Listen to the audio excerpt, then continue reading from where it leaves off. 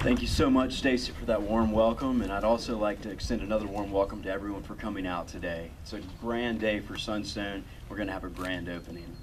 So today I'd like to talk to you about a couple things. We're going to talk today about the six core values of Sunstone.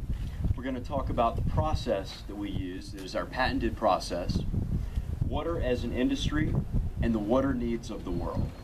So let's begin by talking about the core values of our company, Sunstone Water Group. Our number one core value is safety, health, and the environment. We make safety, health, and protecting the environment our first priority, always. We are committed to the safety of our employees, customers, and all of those that work with our products. And we want to enrich every community in which our unit goes into. Two, we have respect for employees. This is extremely important at Sunstone. We value and respect all of our employees for their diversity, experience, and the ability that they bring to the table. This will allow us to grow and create a lasting brand.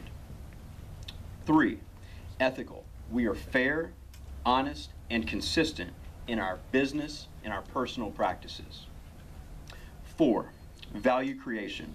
We create value through our customers through innovation, operational excellence, which brings success not only for our employees, but for our gracious shareholders.